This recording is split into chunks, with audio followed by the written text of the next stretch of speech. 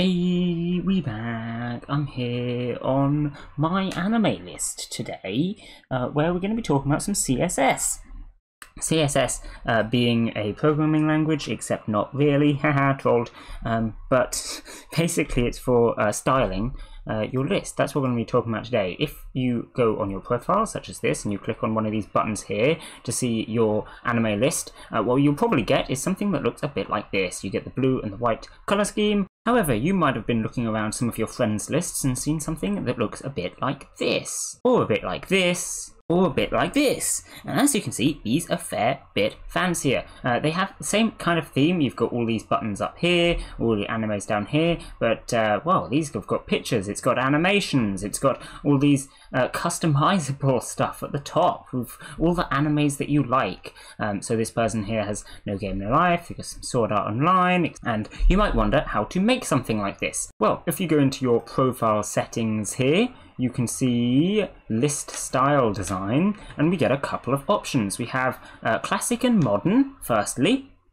Modern is probably what you start on. You can see the default uh, blue and white one down here, and then the, you can have like a dark mode, you might pick red, something like that. There's a couple of community ones here, which actually weren't here last time I checked, so that's cool. Um, but then we also have classic. What you're really going to be wanting is advanced CSS list design, uh, where you can choose a style and then we get all of our magical code here. You can see my code that I've added, uh, which is not too fancy uh, and makes my list look like this. You may notice this looks a little bit different to this though. So where do you get the code? Well, the first thing that you'll probably try doing is Googling it, in which case you'll get a search result like this, probably on the My Anime List forums. In fact, you might come across this one. This is the top search result for me. If we scroll down a bit, we get tutorials on how to install a list and stuff like that. Uh, and trust me, it's all simple. We even have that one that I showed before. This is the one that everyone uses, uh, this one right here. All you need to do is click on one of these images that you like, uh, find the original forum post and find the source code. Uh, and once you've got that source code, you can copy and paste it into your advanced CSS file, change any uh, bits that you want to change, for example, the pictures and stuff like that, uh, resizing stuff, removing pictures, all the rest of it. Most of these fancy styles will have a bunch of customizable options, so you can make your list different. So while these lists do look similar, they clearly are different and they have been customized by the people that are using them with whatever pictures they fancy using. Now this is good and all, but you may notice that my list doesn't look quite like that. Uh, and this is because, of course, you can make your own custom CSS for it, write your own code. Um, and that's basically what we're going to be going over today. Um, if you do want more information about downloading these pre-made ones, I would suggest just having a look at these forum posts and reading the text, because it's all very self-explanatory and they are very good. It is pretty cool. Uh, but what you end up finding is that all these people actually have very similar list layout. And personally, I think it's much cooler if you have a proper custom one, which you have made yourself. It's actually unique. Maybe it's not made super well. Maybe the text doesn't align properly. I'll be starting by creating a new list style design which after pressing that button has appeared here. So we have my original one here, which is like 49, that 490,000, and then we've got 540,000 here uh, with the style ID. If I open this up, I will get a fresh new page. Once you've finished editing it, you can press update CSS and we'll get this up here. Don't forget to change your list style to this styles ID here. So we can just click on that link and it will say anime list style and manga list style. So you can see I currently have mine hooked up to 490,000 or so and I can change that here. We can press submit. I mean, I've just done anime here. Uh, you can change your manga one as well. Then if we go onto here and we refresh, you'll notice that the, it looks pretty garbage, doesn't it? Uh, that's because it has no CSS at all. Uh, and this is what it's going to look like with no CSS at all. Obviously, you don't want it looking like this. So the first thing we're going to have to do is change some stuff. So you're going to want to start by opening up Inspect Element.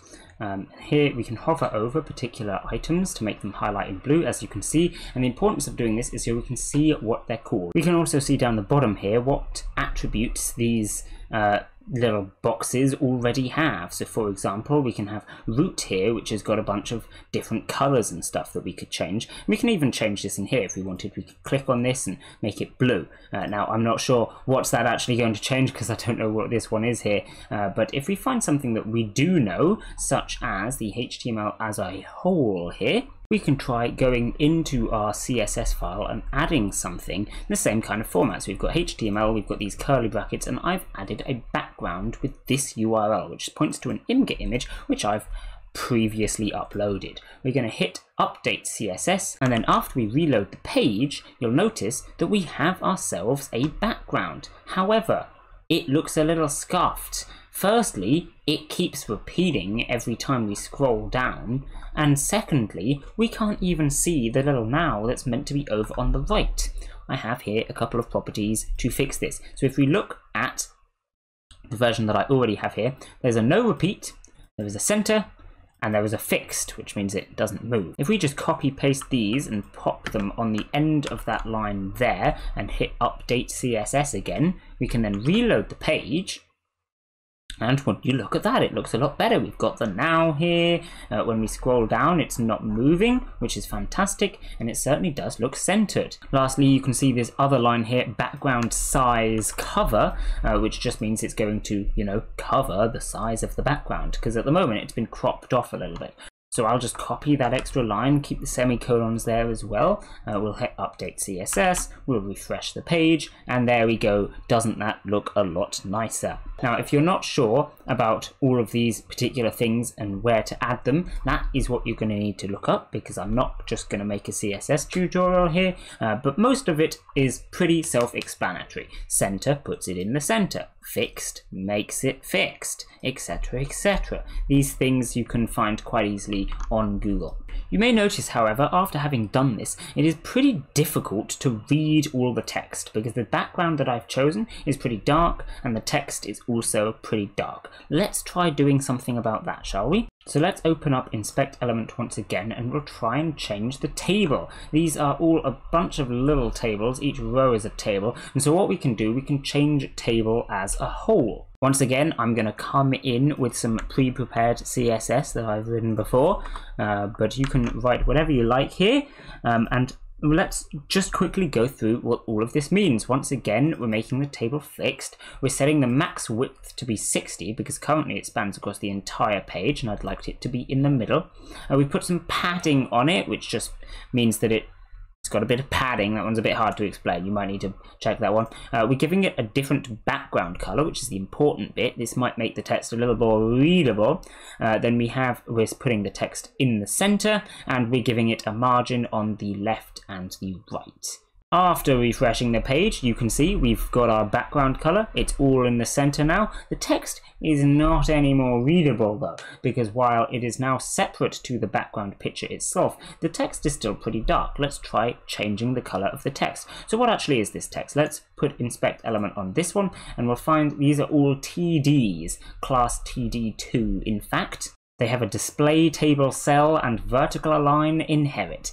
I don't care what any of that means, it's not enough. We need to add some more stuff in here. So let's try adding some stuff for TDs. As I'm sure you can guess, I have some code ready for you here. TD, we set the color to white so that it's readable, uh, turning off text decoration and also changing the font here, just because why not, I suppose. We'll hit update CSS, we'll go and refresh the page, and now suddenly we know what we're actually looking at. All of that text there is now white instead of black, although the links are still pretty dark. If we inspect element on one of these links, we'll see that it is a span and it is inside a href, a href specifically. href being a link, uh, href, ref short for reference, um, and there we go, we have the reference there as well. Uh, and if we change the style of A, then that'll change the style of the text inside of it. So let's once again go and find myself my pre-prepared code for A and pop that at the bottom. Once again, we're setting color to white, the text decoration to none, and setting the font is exactly the same as the TD. If we go in here and refresh the page, you will now see that we can we can see all of the text. You can see the links are still clickable because my mouse changes when I hover over them. They're actually not centered at the moment because I didn't put centered in there. That's in a, a later bit of code on my list. Uh, I'm not going to go over me making the entire list here, but you can see what I'm getting at. And you can add whatever you like into here just by finding something you want to edit, right clicking and inspecting it, and then uh, checking out its attributes at the moment. So we have the A's here. As we added, it has color, it has text decoration, and it has font family all listed down here. And we can we can toggle them on and off. We can see what difference they make. We can try and change stuff in here to test what we want it to look like. And then once we've figured out what we want it to look like we can go into the file and edit it however we like. What we end up with is a big file like this which has a bunch of stuff in it. Like I said, I'm not going to go over everything in my list here. Um, if you do want um, my particular CSS that I've used, uh, I don't know, message me on Discord and I'll probably give it to you. Uh, worth noting that I did not make all of this. I've taken some of it from ideas off the internet. So I will shout out to this post here uh, that I got my little hover cards from because I particularly like these. But the difference is I've taken one feature from a forum, or maybe even more than one. To be fair, I do think it's just one, um, and then made the list myself on top of it rather than copying and pasting an entire list and only changing the images. I just think it's good to know how your list has been constructed. And even if you do want to take something like this as a base, I would highly recommend you go into the source code afterwards and change up what you want. Because while, yes, you can just go and change the images and then have done with it, you can actually change all of the CSS as much as you want it and make your list look a little different from these so that it's not immediately recognizable that you're using the same uh, pre-made uh, CSS as everyone else on the website. Um, but CSS is also just pretty helpful to know generally. Um, I wouldn't say you need to be good at CSS or anything like that. It's a nightmare to be perfectly honest. Uh, but just being able to uh, go in and, and change a couple of things around if you want is quite nice. Um, and you can customize your list uh, on MAL as much as you like, which is also just fun. Uh, so yeah, there you go.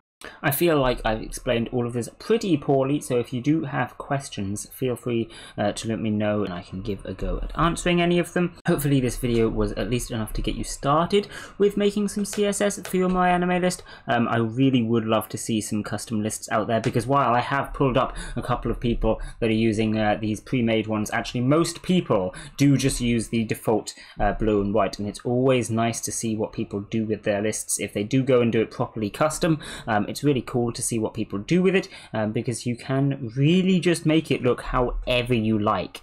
Um, there is complete customizability uh, within my anime list, and I think it's really cool. Um, so if you want to send me your my anime list that you have customized as well, I'd be really happy to see some of those. That would be pretty cool. Um, and anyway, for now, I think I'll be ending this video here. Bye!